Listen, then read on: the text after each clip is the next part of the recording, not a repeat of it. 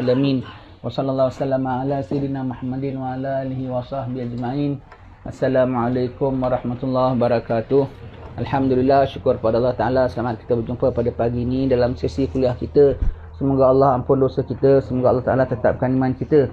Semoga Allah Taala meridai kita. Kita baca dalam surah Al-Kahfi ya tentang kisah Ya'juj wa Ma'juj ya. Kita kena faham ya. Keadaan dunia tidak akan begini ya kita kena accept changes. Kita kena kita, kita kena tahu bahawasanya segala-galanya akan berubah dan kita hidup dengan perubahan itu. Kalau dah zaman Ya'juj wa Ma'juj tu dah lain sekali suasananya. Kalau sampai ini dia kira monster ya. Dah kira dah kira monster ya. Kira selain pada manusia lah ya. Dia selain daripada manusia maka dia makan orang, makan gitu dengan buasnya begitu.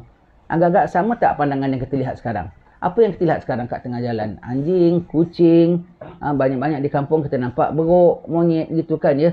Sekali-sekali nampak biawak, nampak ular. Ini kita nampak makhluk yang lain datang tu gitu. Agak-agak macam suasana biasa tak? Dah tentu suasana tidak biasa. Maka sebelum itu nanti ada zaman timbul tu pada keluarnya tu pada zaman Nabi Isa alaihissalam. Kalau Nabi Isa turun tu saja pun benda biasa tak biasa. Orang Nabi tahu seorang Nabi yang kita tahu semua dah wafatkan Nabi-Nabi. Nabi Isa masih ada lagi di langit disimpan oleh Allah Subhanahu Wa Taala turun seorang nabi dan rasul yang namanya dalam al-Quran ini orangnya. Biasa tak tu perkara? Perkara tak biasa. Turun dari langit pulanya. Perkara biasa tak? Dah tentu perkara tak biasa. Kerana dalam dunia kita akan menghadapi situasi yang sangat-sangat tak biasa, maka Allah Taala akan jadikan perkara-perkara itu pun macam-macam punya tak biasa akan kita nampak nanti ya. Begitu juga menjelangnya itu nanti.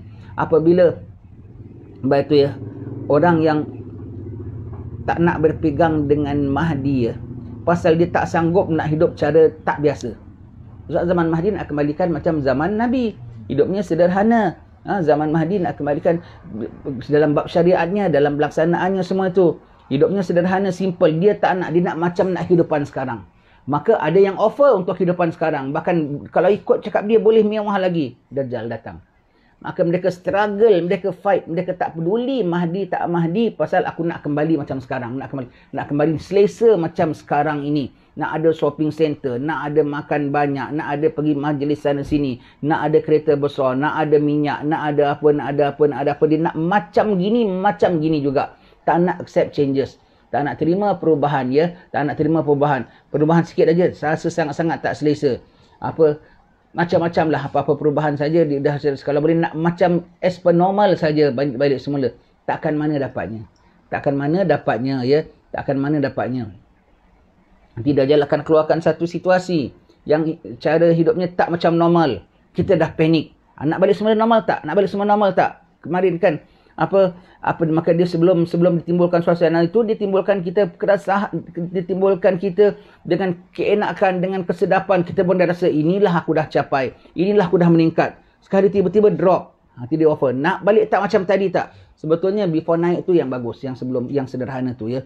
Semua tu palsu dan tipu daya belaka. Kerana kita hendak kita hendak kita hendak kita tak nak lepas maka segala yang ditawarkannya kita ikut kita ikut kita ikut. Tak ada mana biasa kehidupan tak ada mana biasa kita kehidupannya. Makin menjelang, makin menjelang, cuaca tak akan biasa, cara pemakanan tak akan biasa, udara tak akan macam biasa, kesihatan dan ekonomi tak akan macam biasa.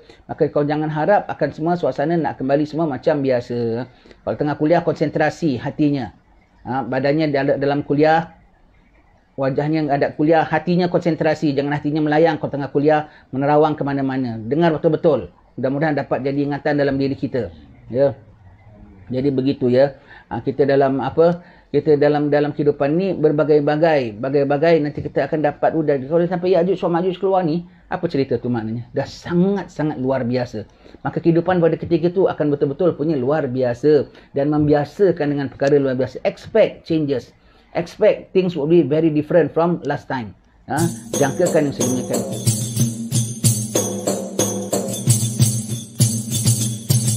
من أنا من أنا من أنا لولاكم.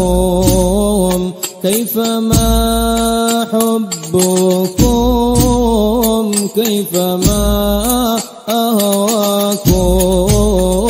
من أنا من أنا من أنا لولاكم. كيفما